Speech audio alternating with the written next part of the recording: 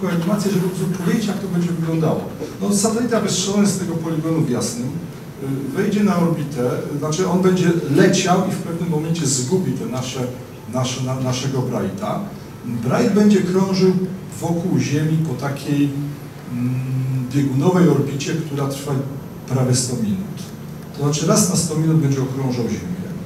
W tym seans transmisji danych na przykład do Warszawy będzie trwał około 10 minut. Czyli raz na 100 minut będziemy mogli się z satelitą połączyć. Takich kilka orbit przejdzie, potem Ziemia się przekręci, on zejdzie z pola widzenia Warszawy, wejdzie do, do, do Wiednia, potem do Toronto, do Vancouver i tak dalej.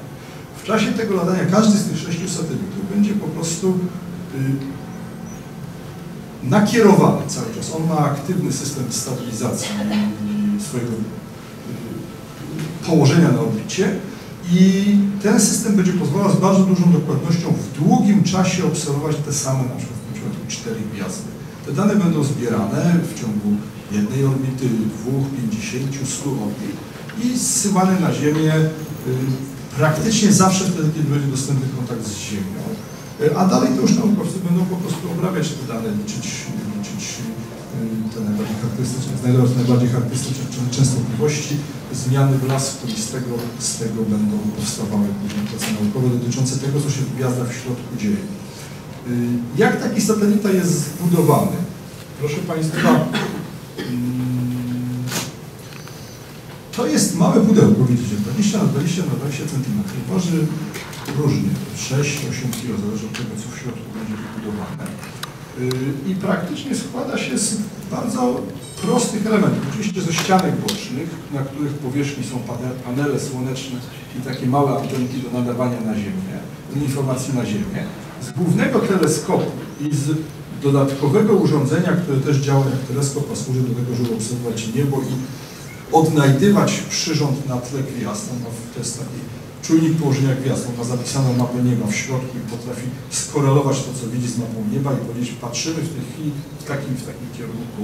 Ma kilka elementów, które pozwalają stabilizować jego położenie na orbicie, czyli koła magnetyczne, koła zamachowe, które się kręcą, cewki magnetyczne. Ma kilka komputerów, ma system transmisji danych na Ziemię, ma system odbierania komend i to w zasadzie wszystko. Elementem jest taka kamera, malutka kamera oparta o matrycę CCD. Ta kamera to jest to urządzenie. Y, część satelitów będzie patrzyła przez taki filtr czerwony, część przez filtr niebieski, po to, żeby móc analizować te y, zmiany blasku w dwóch różnych zakresach spektralnych.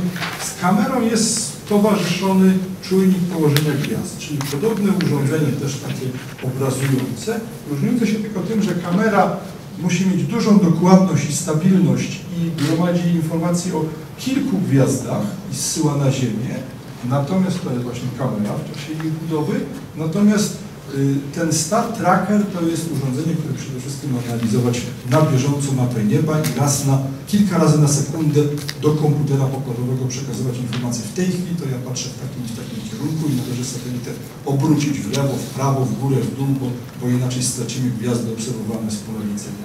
I co, ja świadomie umieściłem ten element na pokazie, żeby Wam Państwu pokazać, jak się robi danie satelity.